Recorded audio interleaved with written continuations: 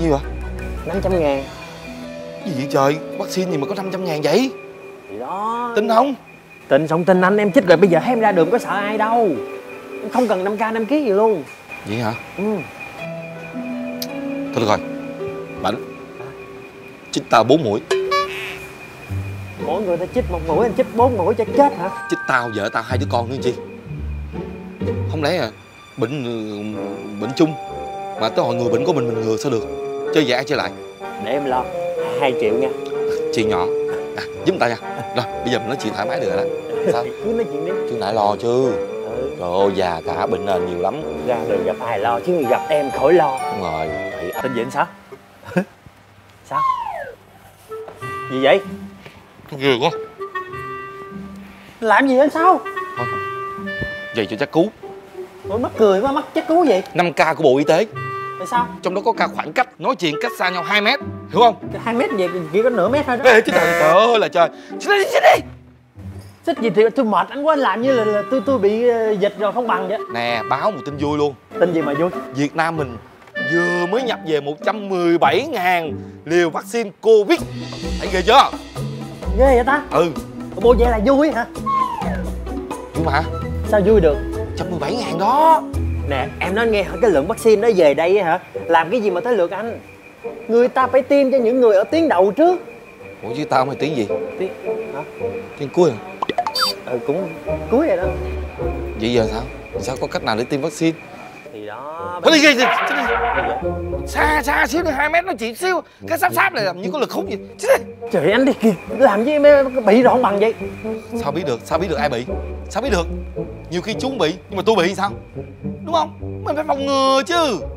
Trời em nói anh, em không sợ. Bởi vì em chích rồi. Thiệt hả? Thiệt. Gì vậy? Mày Mày dụ tao nói chuyện gần mày hoài.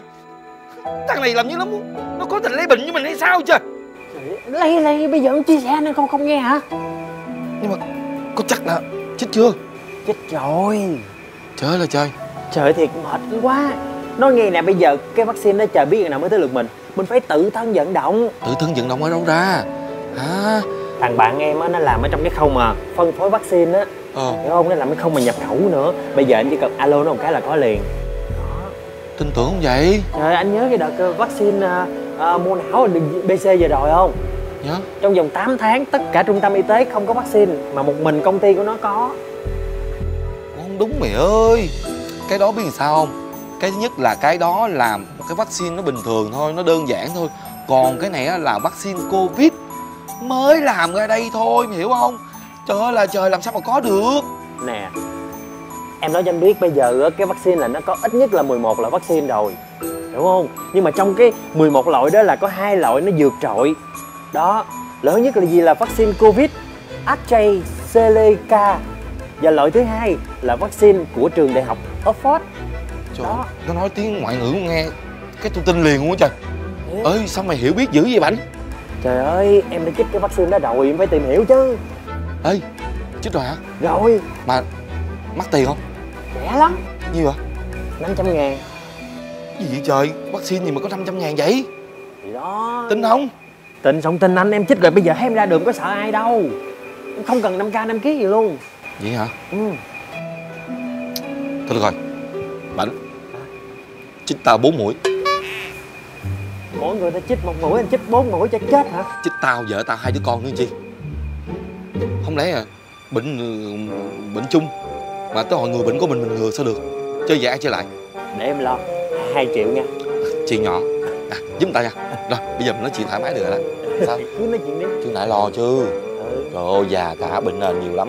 Ra đường gặp ai lo chứ gặp em khỏi lo. Đúng rồi bị huyết áp tiểu đường đủ thứ loại bệnh đó lo lắm. Trời bên nền nhiều lắm phải chích nha. Anh đúng rồi đúng rồi. Không chích không được đâu. Ờ, cảm ơn nha bạn cảm ơn nha. Vậy là kể từ đây cả đường tự tin nè không phải lo sợ nơm nớp nữa. À, Uống, uống gì kêu cho anh? Thôi được rồi. Bây giờ tranh thủ tại nhà kêu bả với hai đứa nhỏ chuẩn bị đi tiêm vaccine covid. Tranh thủ tranh thủ nha. Nhưng mà trước khi tiêm cũng phải cẩn thận. Giờ cả đường không biết ai bị không biết ai không bị nữa. Nha đi nha. Rồi, rồi. cảm ơn bạn nha. Dạ dạ có gì